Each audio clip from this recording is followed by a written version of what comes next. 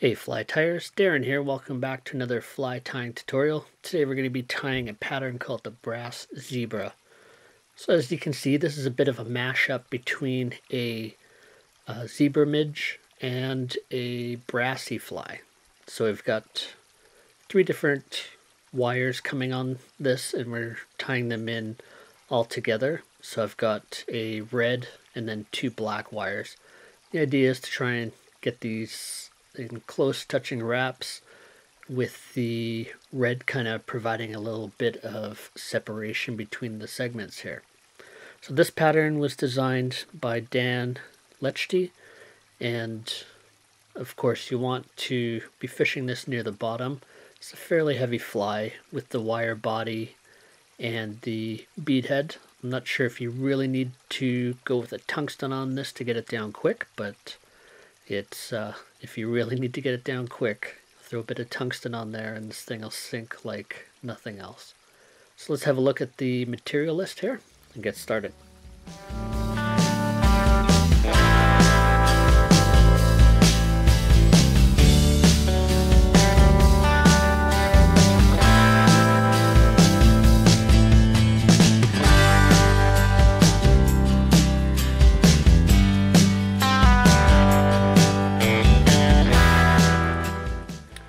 Let's get a fresh hook in the vise. I'm going to be using a Mustad Signature C49S and just to kind of give you a better view, we're using a size 10 but normally we're going to be tying this in some smaller sizes down to say like an 18 or so.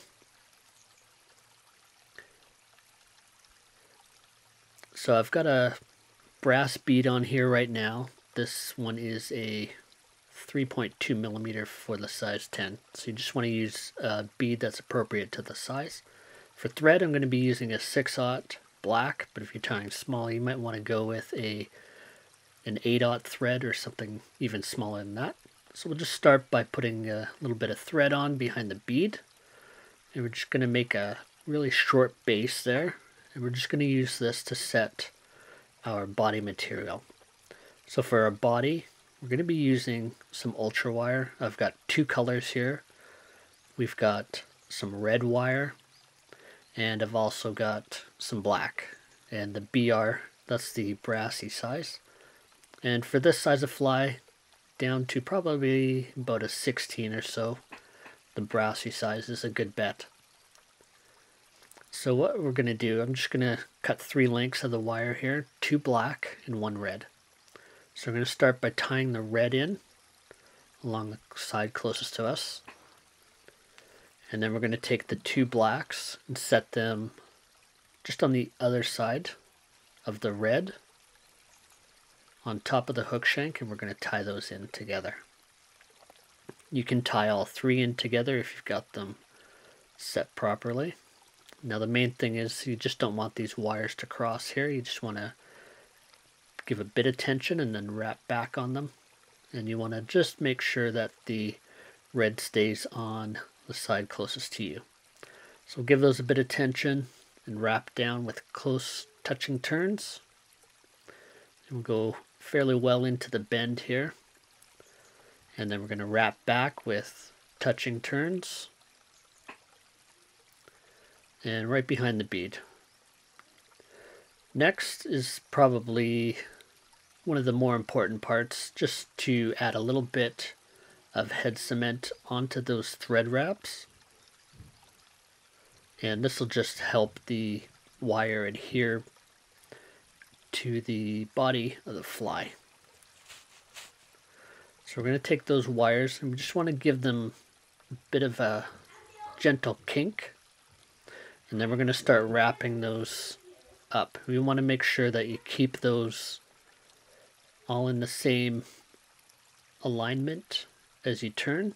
You just want to make sure that they stay butted up against each other so that you're basically turning one wire instead of three separate ones. So if you do get a little bit out of line, feel free to go back and fix that. And then we're just going to finish that up just in behind the bead give a little bit of space that we can tie in a thorax for the fly. So this is about as thin as you could tie it.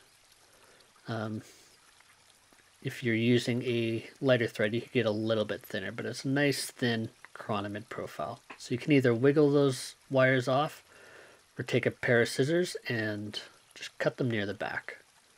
And we're just going to tie over top of those sharp ends there.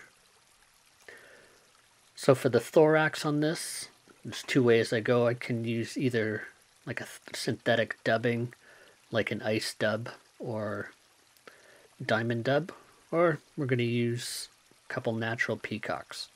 So I've stripped two peacock herls off a natural eye. And we're going to tie those in by the butts. And I just like to clip off the butt section on there so we're not tying that in. And I like to tie my peacock herl by the butts because it's a little stronger rather than doing it by the tips. So we've got those secured. We'll add a half hitch just for a bit of an insurance policy there. I'm going to take both of those herls. I'm just going to wind them a tiny bit. You don't want to put too much pressure on them because they could snap. And then we'll just take a few wraps just to build up a nice thorax. And we'll just make sure we tie those off on both sides, front and back just so that they're locked in place. And we'll snip off the excess. And then we're just going to add a whip finish to this fly. So one other thing you could do if you wanted to, you could add a UV epoxy or UV resin over top of the wire wraps. But because we put a little bit of head cement underneath, this fly should stay fairly durable. This is one of those flies that if you do happen to lose a couple, it's not too big a deal. They're a fast fly to tie.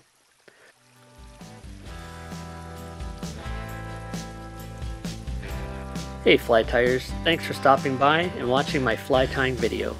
Make sure you're subscribed and hit that bell icon to get notified on the latest fly patterns, tips, and reviews. If you enjoyed the video, take a second and hit that like button. If you have any questions or comments, you can post them below in the comments section.